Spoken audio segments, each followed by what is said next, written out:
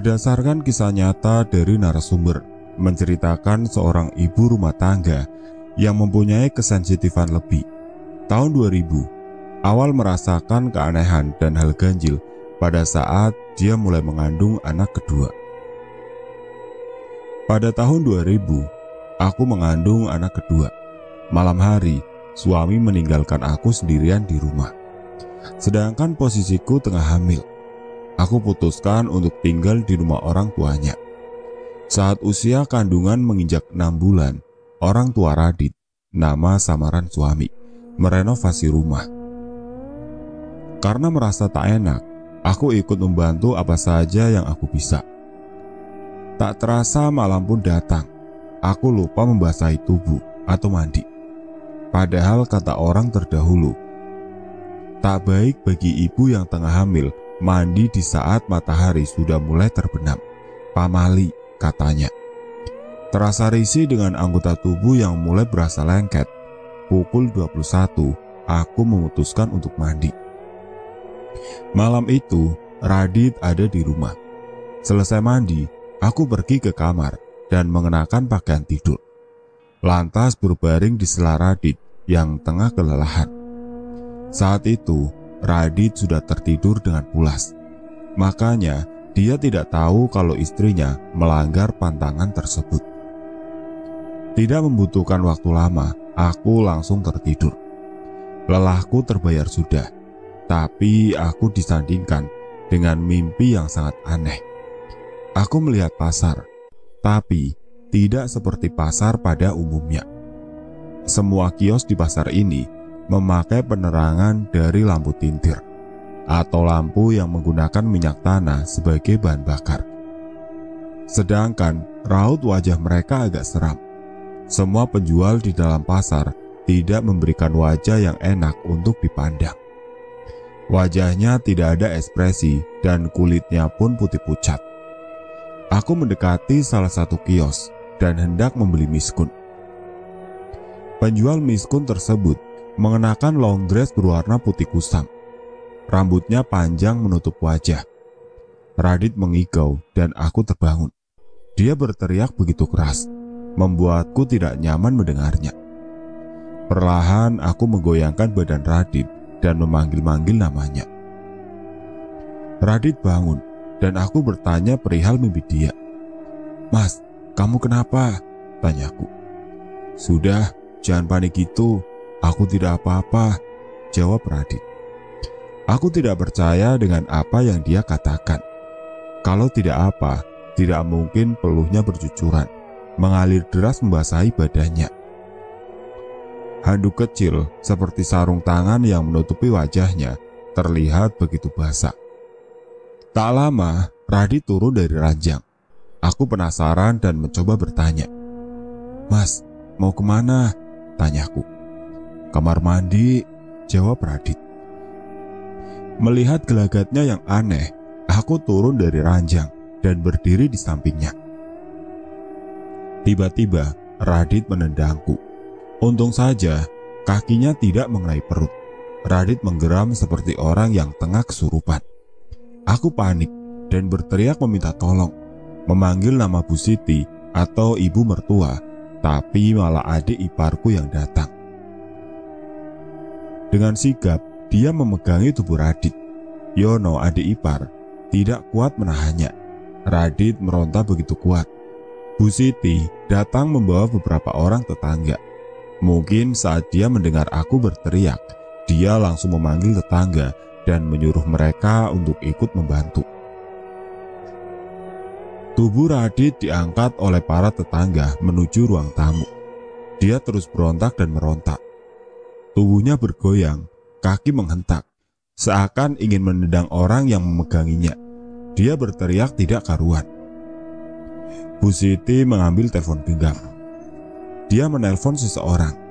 Terdengar percakapan yang sangat serius. Ibu, beberapa kali memanggil orang dalam telepon Ustadz. Lantas, ibu menyuruhku mengambil air bekas redaman beras dengan dikasih sedikit garam kasar. Awalnya aku enggan.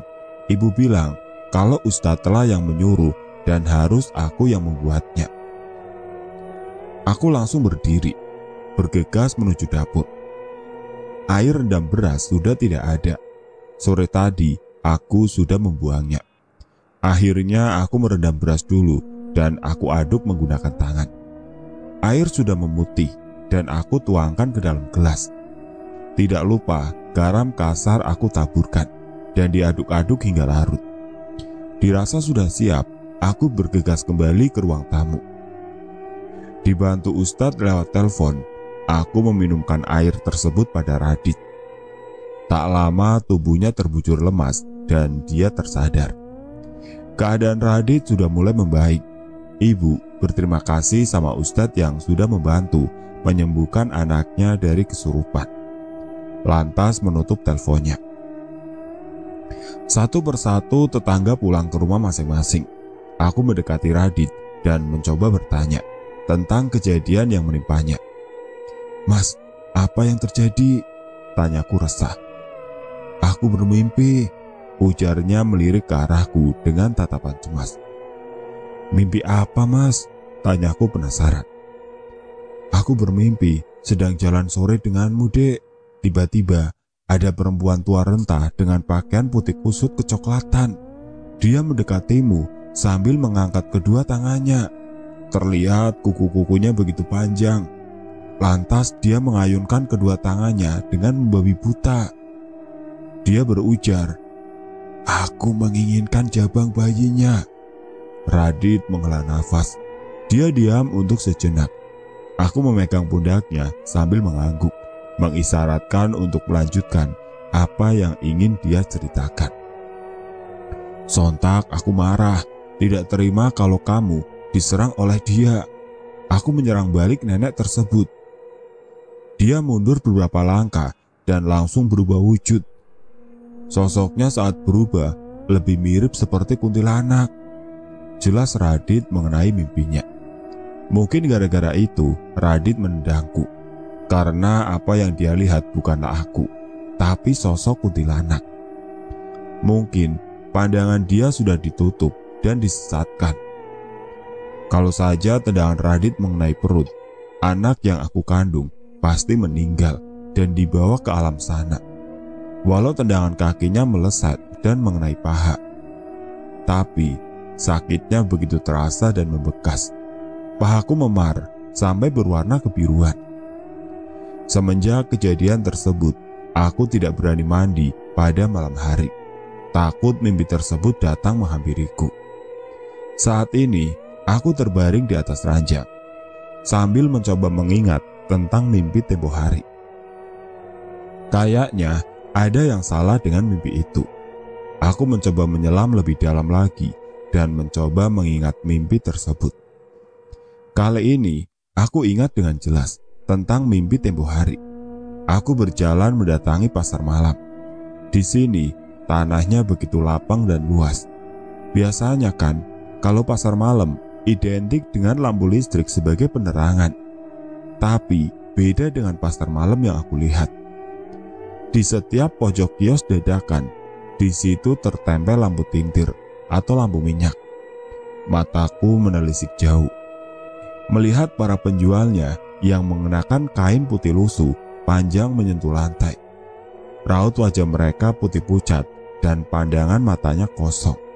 Mereka berdiri tegak layaknya patung. Aku mendekat ke salah satu kios. Memilah dan memilih pakaian. Bu, kalau yang ini harganya berapa?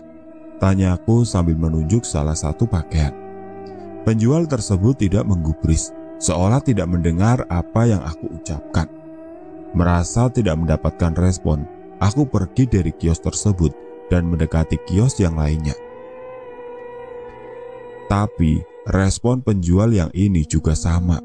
Sampai aku mencoba ke sana kemari, namun tidak ada satu barang pun yang aku dapatkan. Semua penjual tidak ada yang menggubrisku, seolah mereka tidak melihatku, apalagi mendengar. Barulah aku tersadar kalau mereka bukanlah orang. Aku ketakutan dan berlari pulang. Entah semenjak kapan, tangan kananku sudah memegang payung. Awan hitam pekat menutup langit, seakan hujan mau turun. Setiap langkah, aku merasakan ada salah satu penjual mengikuti. Aku merasa dia begitu dekat dan ada di belakang. Masih berlari, aku memutar badan sambil mengayunkan payung. Suara payung yang seakan mengenai seseorang. Aku berhenti dalam posisi tubuhku sudah berbalik ke arah belakang. Ternyata benar, ada salah satu penjual yang mengikutiku. Semakin lama aku pandang, sosoknya makin pudar dan hilang dari pandangan. Tapi, dia meninggalkan suara tertawa. Suaranya lirih, tapi berasa melengking dan memekakan telinga. Seperti itulah mimpi yang aku ingat dengan jelas. Padahal waktu itu begitu samar. Mungkin karena kejadian setelah bangun membuatku lupa tentang mimpi tersebut. Tiga bulan kemudian, anakku lahir ke dunia. Seorang anak perempuan dan aku memberinya nama Listi. Tapi ada yang aneh sama si jabang bayi. Setiap malam Jumat, tepatnya setiap adzan maghrib, Listi selalu menangis. Tangisannya lumayan hebat, tapi dia tidak mengeluarkan air mata sedikit pun. Sampai Aku mencoba melihat pupil matanya karena penasaran. Tapi hasilnya sama. Tahun berganti tahun. Terkadang Listi demam, tapi dia selalu ketakutan dalam demamnya. Membuatku bingung dengan apa yang menimpanya. Kalau dia sakit, aku selalu bertanya, kenapa dia selalu ketakutan ketika demam? Katanya, ada sosok pocong di sampingnya atau di balik pintu Aku yang tidak tahu dengan apa yang dia lihat hanya bisa menenangkannya kalau sedang ketakutan. Akhirnya dia sudah terbiasa dengan alam sebelah dan tak lagi merasa begitu takut yang teramat ketika pocong tersebut mendatanginya. Tak terasa Listi sudah menginjak usia 8 tahun. Radit mengajak kita pindah karena kantor tempat dia bekerja beralih tempat. Saat itu kita sedang berada di dalam salah satu ruangan. Aku merasakan hawa panas yang pengap. Oksigen pun terbatas. Seolah ada sebuah energi yang menutup hawa segar di dalam ruangan ini. Listi segera menarik tanganku. Dia mengajakku keluar dari ruangan tersebut. Aku menuruti kemauannya dan kita pun keluar. Setelah di luar ruangan, Listi kembali ceria seperti sedia kala. Padahal waktu dalam ruangan, raut wajah Listi sangat berbeda, seakan menyimpan rasa takut yang teramat dalam. Listi mencoba berbisik. Aku menunduk dan mendekatkan telinga. Mah, ada nenek berambut panjang. Dia tengah bersisir sambil tersenyum menghadapku. Ucapnya lirik. Seperti biasa, aku hanya bisa menenangkan dia sambil berujar. Tidak apa, Mungkin si nenek ingin berkenalan. Bisa dibilang, aku yang sekarang mempunyai kesensitifan yang berbeda. Aku bisa merasakan alam sebelah, tapi tidak bisa melihat wujud mereka. Entah karena dekat dengan Listi, atau memang sudah dari sananya. Tapi, perasaan ini ada semenjak Listi lahir ke dunia. Namaku Ayatin, nama samaran. Panggil saja ayah. Aku anak pertama atau barep dari empat bersaudara. Semua adikku laki-laki dan hanya aku anak perempuan ibu. Tapi aku kembar sama yang nomor dua, kembaranku lelaki. Sebelumnya tak tahu asal usulku. Karena penasaran, aku mencari tahu tentang leluhur dan ternyata leluhurku masih ada hubungannya dengan kerajaan Singosari. Pada tahun 2017, saat ayah angkatku meninggal, aku bertemu sanak saudara dan teman ayah angkat yang bertaksia. Salah satu teman almarhum mendekat. Dek, ke sini dek, duduk di sini, perintah bapak tersebut. Siapa sih bapak ini? Sok kenal sekali, gumamku dalam hati. Tapi, aku tertarik dengan bapak tersebut dan akhirnya mendekati beliau. Aku duduk di sampingnya dan bersalaman. Saat berjabat tangan dengannya, aku merasakan getaran energi yang sangat kuat. seperti hangat tapi berasa panas. Tapi aku tidak berani melepaskan genggaman tangan.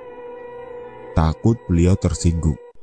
Aku melihat ke arah wajahnya, seperti tidak asing dan seakan pernah melihatnya, tapi entah di mana.